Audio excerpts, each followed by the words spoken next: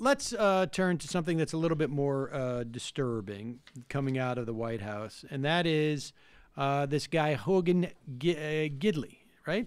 Yep.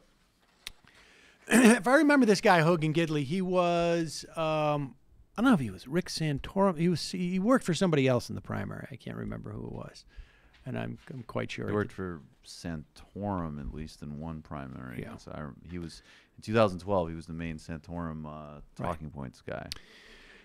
And uh, here he is on uh, the on uh, MSNBC, and part of the reason why I think the um, White House does not feel obligated in any way to provide uh, support for Puerto Rico. Part of it is that uh, Donald Trump doesn't like the mayor. Part of it is that he doesn't feel they'll vote for him, and part of it is they just don't consider them Americans.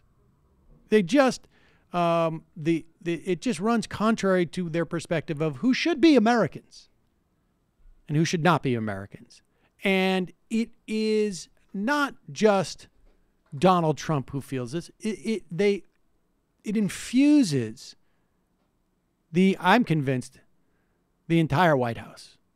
They all share this this this that's how they all have that's why this guy's been there since day 1 and he's still there. Common bonds. They have a common bond, a common perspective on who is a real American and who's not a real American.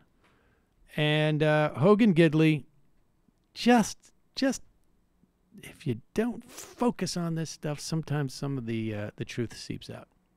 Is they have received more money than any state or territory in history for rebuild. That's not true. A a hundred percent. There is nowhere that's even come Louisiana got more after that hurricane. They have not That's not- come that's to not a ni- true They have not come to 91 billion dollars with all we've done in that country. They have had a systematic mismanagement. I'm sorry, all the- we've done in what? Can we go back a little bit? Where that's even come Louisiana got close to- more after that They have hurricane. not That's not- that's to not a ni- true They have not come to 91 billion dollars with all we've done in that country. They have had a systematic mismanagement of the goods and services we've sent to them. You've seen food just rotting in the ports. Uh, their governor has done a horrible job. He's trying That to make country. political. The- That country. Well, I agree.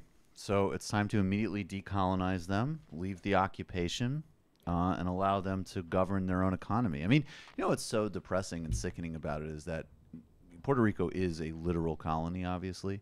And if the United States actually stopped colonizing them, we would still financially colonize and terrorize them the way we do the rest of the Caribbean and Latin America. So it's two orders of colonization. But it is incredible to actually go to a place that it's like like is Haiti essentially a colony of the United States and Canada? Yes.